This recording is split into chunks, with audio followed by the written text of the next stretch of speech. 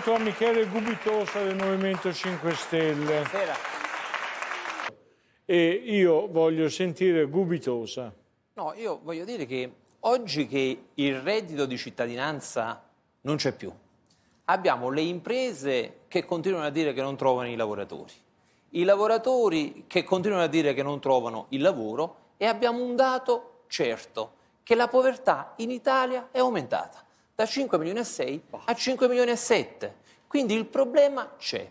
E questo governo, che si riempie sempre la bocca di aziende, creare lavoro, creare lavoro, cosa ha fatto per le aziende? Io sono d'accordo che le aziende creano il lavoro, sono d'accordo che lo Stato deve aiutare le imprese, ma cosa ha fatto?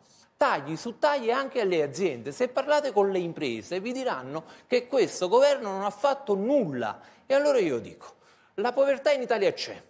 È qualcosa, uno strumento si deve adottare. Cosa ha fatto questo governo? Ha detto che il reddito di cittadinanza era un fallimento. E con cosa quello ha sostituito? Con il nulla. Ha detto che noi per le imprese avevamo fatto strumenti sbagliati, come il super bonus, come eh, Industria 4.0. E con cosa l'ha sostituiti? Con il nulla. Quindi ha preso questi soldi, li ha tolti dicendo che noi li abbiamo dati in maniera sbagliata e con cosa li ha sostituiti? Con il nulla e ha messo questi soldi sul ponte sullo stretto 15 miliardi, magari in armi. Ecco, questa è la soluzione di questo governo per questo paese, togliere i soldi alle aziende, alle imprese, ai cittadini, alla fascia povera del paese e che cosa fare? Non tassare le banche, non recuperare 10 miliardi di euro tra banche e società energifere perché ha fatto la nostra tassa che avevamo fatto per gli extra profitti, l'ha modificata dando la possibilità alle banche di non pagare queste, eh, queste tasse? Ecco, noi siamo contro questa linea, siamo contro queste manovre, lacrime